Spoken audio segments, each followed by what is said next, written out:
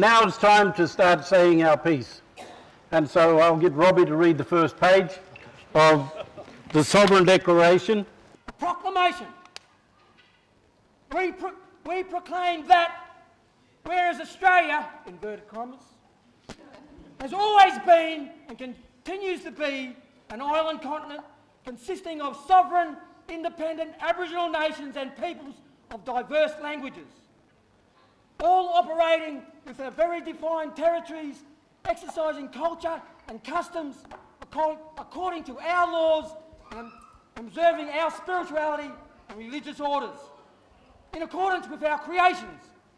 And whereas Aboriginal people laws, culture, spirituality and religious practices establish our continuing sovereignty, which underpins the ancient continental common law of this island, continent, now known as Australia.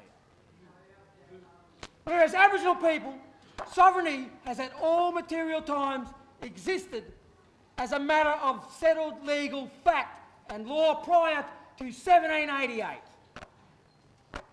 Mabo number two judgment confirmed Blackstone's commentaries of law of nations when the High Court of Australia ruled that the law of customs survived British sovereignty.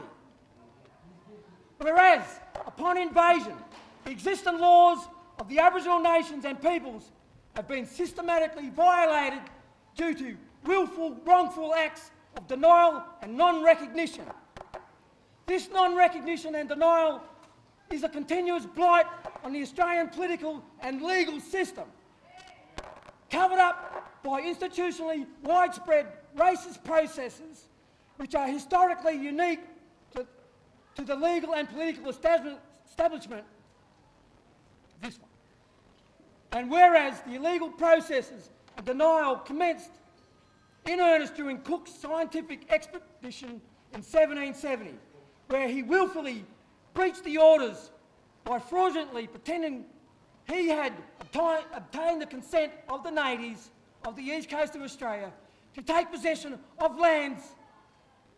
Cook's actions were and are by law, then and now, criminal acts of fraud. And whereas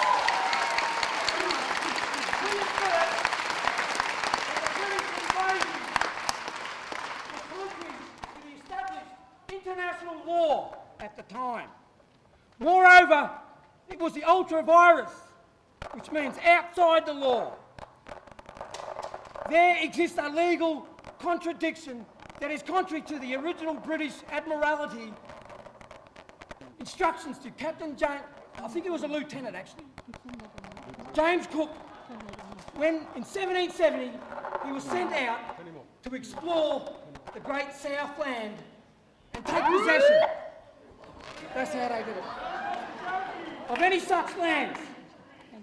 These are the instructions.